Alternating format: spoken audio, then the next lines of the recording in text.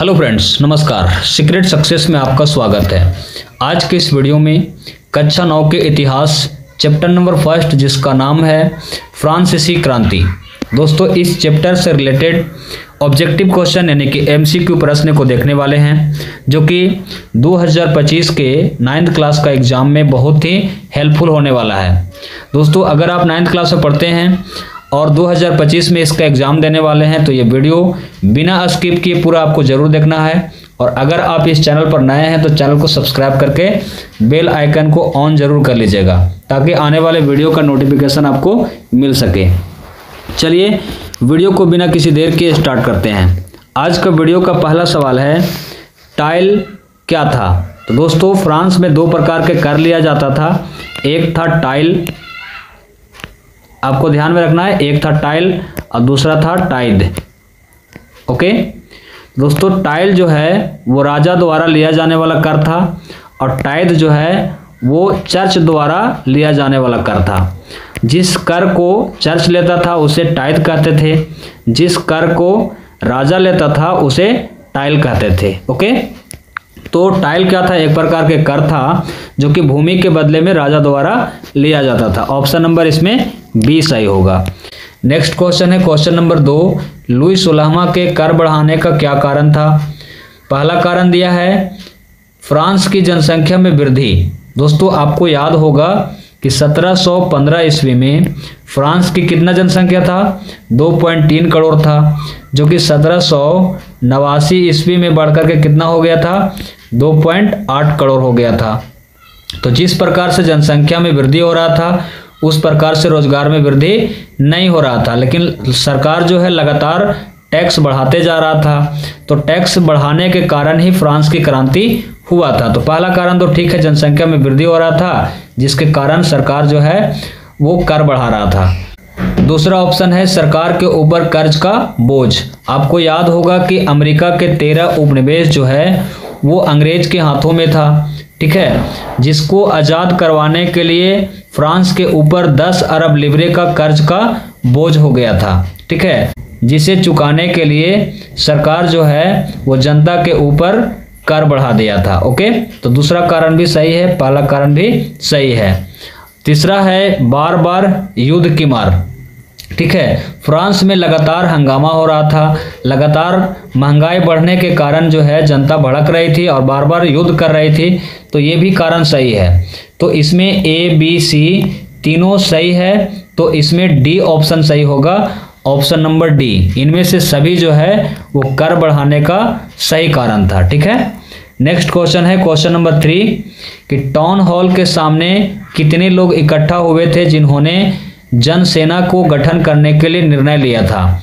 तो आपको याद है कि पेरिस में एक जगह है टाउन हॉल, जहाँ पे सात हज़ार लोग जमा हुए थे और ये निर्णय लिए थे कि राजा के खिलाफ, जब तक राजा के शक्ति को कम नहीं किया जाएगा, तब तक ये संगठन टूटेगा नहीं। तो सात हज़ार लोग मिल करके और अपना संगठन बनाए थे और राजा के खिलाफ जो है लड़ाई किए थे। ठीक है?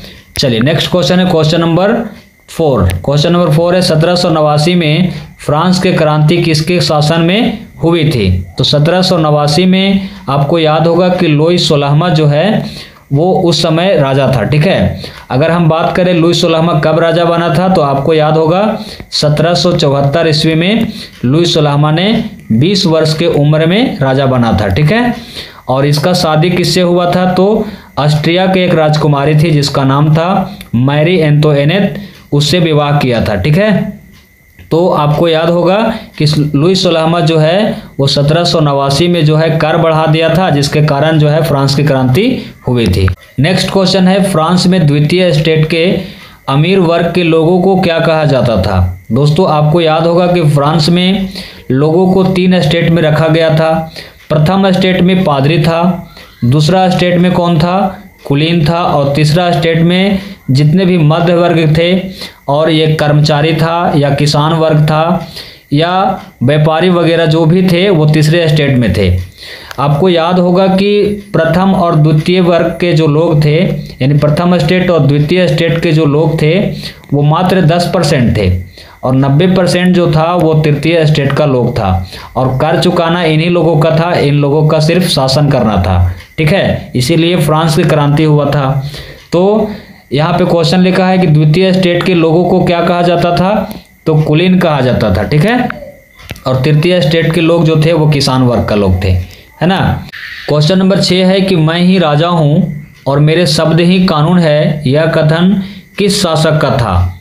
ऑप्शन ए है लुई चौदहवा, ऑप्शन बी है लुई पंद्रहवा, ऑप्शन सी है लुई सोलहवा, या इनमें से कोई नहीं। तो दोस्तों, बहुत सारे बच्चे जो है, एग्ज़ाम में जब बैठे होते हैं तो लुई सोलहवा के बारे में पढ़ के जाते हैं। इसीलिए लुई सोलहवा को टिक लगा करके या सही करके घर वापस चले आते हैं। लेकिन ये उत्तर जो है, वो गलत है। इसका सही उत्तर होगा, आपको ध्यान में रखना है कि यह कथन जो है लुई चौदहवा का था। मैं ही राजा हूँ और मेरे शब्द ही कानून है, ठीक है? तो लुई चौदहवा ने ये कथन कहा था, ठीक है?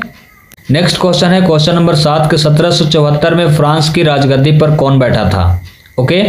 तो आपको याद होगा कि सत्रह में फ्रांस के राजगद्दी पर लुई सोलहवा बैठा था। ऑप्शन नंबर ए इसमें सही उत्तर हो जाएगा। और इसका शादी किसके साथ होता है? ऑस्ट्रिया के राजकुमारी जिसका नाम था मैरी एंतो एनेत। ठीक है? चलिए नेक्स्ट क्वेश्चन है क्वेश्चन नंबर आठ। क्वेश्चन नंबर आठ है कि लिबरे क्या था? फ्रांस की मुद्रा था या फ्रांस की लिबरेशन पार्टी था या फ्रांसीसी कर था या इनमें से कोई नहीं? तो इसका सही उत्तर होगा लिबरे जो था वो फ्रांस की मुद्रा था, ठीक है? आपको ध्यान में रखना है, लिबरे फ्रांस की मुद्रा था, ठीक है? नेक्स्ट क्वेश्चन है क्वेश्चन नंबर नौ, कि सीधे राज्य को अदा किए जाने वाले कर को क्या कहते थे? यानी राजा को दिए जाने वाले कर को क्या कहते थे? टाइल कहते थे। और टाइद कौन सा कर होता था? जो चर्च को दिया जाता था, उसे टाइद कहते थे, ओके? नेक्स्ट क्वेश्चन है क्वेश्चन नंबर दस क्वेश्चन नंबर दस है, फ्रांसीसी क्रांति की शुरुआत किस शहर से हुई थी? ऑप्शन नंबर ए है, रोम से, या ब्रिटेन से, या पेरिस से, या इनमें से कोई नहीं। तो दोस्तों, इसका सही उत्तर क्या हो जाएगा? पेरिस। ऑप्शन नंबर सी है, सही उत्तर। ठीक है, फ्रांस की क्रांति का शुरुआत पेरिस के टाउन हॉल शहर से शुरुआत हुआ था। ठीक है? नेक्स्ट क्वेश्चन है क्वेश्चन नंबर ग्यारह। मार्सिले क्या है? ऑप्शन नंबर ए है फ्रांस के राष्ट्रीय गीत या प्रसा का राष्ट्रीय गान या ब्रिटेन का राष्ट्रीय झंडा या इनमें से कोई नहीं। तो इसका सही उत्तर हो जाएगा ऑप्शन नंबर ए, फ्रांस का राष्ट्रीय गीत जो है, उसका नाम था मार्सिले, ठीक है? नेक्स्ट क्वेश्चन है, क्वेश्चन नंबर बारह है, मेनर क्या था? ऑप्शन नंबर ए है, भवन, गाँव या स्टेट या इनमें से कोई नहीं। तो दोस्तों, इसका सही उत्तर हो जाएगा मेनर जो था, वो स्टेट था, ठीक है? और आपको याद होगा कि फ्रांस में जो लोगों को वर्गीकृत किया गया था, वो तीन स्टेट में किया गया था। प्रथम स्टेट में पादरी, द्वितीय स्टेट में कुलीन और तृतीय स्टेट में किसान, मजदूर, बढ़ाई, डॉक्टर, इंजीनियर, ये सभी तृतीय स्टेट में बटे हुए थे, ठीक है? चलिए, नेक्स्ट क्वेश्चन क्वेश्चन नंबर तेरह है कि नेपोलियन बोनापार्ट कौन था? ऑप्शन नंबर ए है, जर्मनी का सम्राट था या फ्रांस का सम्राट था या रूस का सम्राट था या इंग्लैंड का सम्राट था। तो इसका सही उत्तर है option number B. Napoleon Bonaparte जो है, वो फ्रांस का सम्राट था। आपको याद होगा कि 1804 ईस्वी में नेपोलियन बोनापार्ट ने फ्रांस का सम्राट बना था और 1815 ईस्वी में वाटरलू के युद्ध में किस युद्ध में? वाटरलू के युद्ध में नेपोलियन बोनापार्ट का हार हो जाता है, ठीक है? नेक्स्ट क्वेश्चन है क्वेश्चन नंबर चौदह, कि ओलंप दे गुज कौन थी? ऑप्शन नंबर ए है, क्रांतिकारी महिला।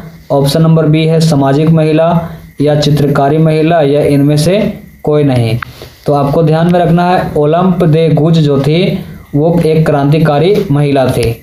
क्वेश्चन नंबर पंद्रह है, आतंक का राज्य किसने स्थापित किया था? ऑप्शन नंबर ए है, लुई सोलहमा। ऑप्शन नंबर बी है Napoleon Bonaparte, option number C है रोबेस्पियर, या इनमें से कोई नहीं। तो दोस्तों, आपको याद होगा कि जब लुई सोलहमा को सत्रह सौ तिरानवे ईस्वी में फांसी पे चढ़ाया गया था, इसके बाद फ्रांस की सत्ता जो है वो किसके हाथ में आ गया था? जनता के हाथ में आ गया था, ठीक है? जनता को कौन नेतृत्व कर रहा था? तो वो था रोबेस्पेयर। रोबेस्पेयर जनता का नेतृत्व कर रहा था तो इसने ही आतंक का राज्य स्थापित किया था। आतंक का राज्य इसलिए इसे कहा जाता है क्योंकि ये किसी को नहीं सुनता था। इसके खिलाफ जो भी जाता था, उसे सीधे गिलोटिन पर चढ़ा दिया जाता था इसके द्वारा, ठीक है? इतना सख्त कानून लागू किया था जिससे इसका समर्थक भी जो है तराई तराई करने लगा था। इसीलिए कहा जाता है कि रोबेस्पेयर ने ही फ्रांस में आतंक राज्य का स्थापना किया था। और इसे भी जब जनता तंग आ गया तो सत्रह में इसको भी गिलेटिन पे चढ़ा दिया गया, ठीक है? यानी इसका भी मौत के घाट उतार दिया गया। चलिए नेक्स्ट क्वेश्चन क्वेश्चन नंबर है सोलह। क्वेश्चन नंबर सोलह है, फ्रांसीसी क्रांति की शुरुआत कब हुई थी? 14 जुलाई सत्रह सौ नवासी को, या 17 जुलाई सत्रह सौ पंचानवे को, या 1 जुलाई 1780 को, या इनमें से कोई नहीं। तो दोस्तों, आपको याद होगा कि 14 जुलाई सत्रह सौ नवासी को फ्रांस की क्रांति शुरुआत हुई थी। ठीक है, ऑप्शन नंबर इसमें ए सही होगा। क्वेश्चन नंबर सत्रह है कि टाइद का अर्थ क्या होता है? ऑप्शन नंबर ए है समान कर, उत्पाद कर, या धार्मिक कर, या इनमें से कोई नहीं। तो दोस्तों, आपको याद होगा कि फ्रांस में चर्च के द्वारा लिया जाने वाला एक प्रकार का कर था, जिसे टाइद कहते थे। यानी कि ये एक प्रकार का क्या था? धार्मिक कर था, ठीक है? तो आपको ध्यान में रखना है, और टाइल जो था, वो कौन सा कर था? तो राजा के द्वारा लिया जाने वाला कर को टाइल कहा जाता था, ठीक है? आपको ध्यान में रखना है ना? नेक्स्ट क्वेश्चन है, क्वेश्चन नंबर 18 नेपोलियन का कोड के नाम से जाना जाता है। ऑप्शन नंबर ए है, कानून का संग्रह, सैनिक का नेतृत्व या मुद्रा प्रणाली या कुशल श्रमिक संघ। तो इसका सही उत्तर हो जाएगा ऑप्शन नंबर सी, मुद्रा प्रणाली नेपोलियन का कोड के नाम से जाना जाता है। ठीक है? आपको ध्यान में रखना है। नेक्स्ट क्वेश्चन है, क्वेश्चन नंबर 19 क्रांति के समय फ्रांस में कितनी आबादी किसान थी? ठीक है? ऑप्शन नंबर ए है नब्बे प्रतिशत ऑप्शन नंबर बी है, सत्तर प्रतिशत ऑप्शन नंबर सी है, अस्सी प्रतिशत या साठ प्रतिशत। तो इसका सही उत्तर हो जाएगा, जब फ्रांस की क्रांति का शुरुआत हुआ था, उस समय फ्रांस में किसान 90 प्रतिशत था और शेष 10 परसेंट क्या था? कुलीन और चर्च लोग थे, ठीक है? यानी कुलीन और पादरी लोग थे, है ना? नेक्स्ट क्वेश्चन है, क्वेश्चन नंबर 20 फ्रांसीसी कॉलोनियों में दास्ता कब समाप्त हो गई? ऑप्शन नंबर है ए 1848 में, या अठारह सौ सतावन में, या उन्नीस सौ सत्तावन में, या इनमें से कोई नहीं। तो इसका सही उत्तर हो जाएगा फ्रांसीसी कॉलोनियों में दास्ता को 1848 में समाप्त कर दिया गया। ठीक है? दोस्तों आई होप कि ये वीडियो आपको पसंद आया होगा। पसंद आया हो तो वीडियो को लाइक कीजिएगा। चैनल पर नए हैं तो चैनल को सब्सक्राइब करके बेल आइकन को ज़रूर ऑन कर लीजिएगा, ताकि आने वाले वीडियो का नोटिफिकेशन आपको मिल सके। और वीडियो कैसा लगा कमेंट में लिख करके ज़रूर बताइएगा। और इसी तरह का वीडियो चाहते हैं तो भी कमेंट कीजिएगा। टेक केयर बाय बाय धन्यवाद।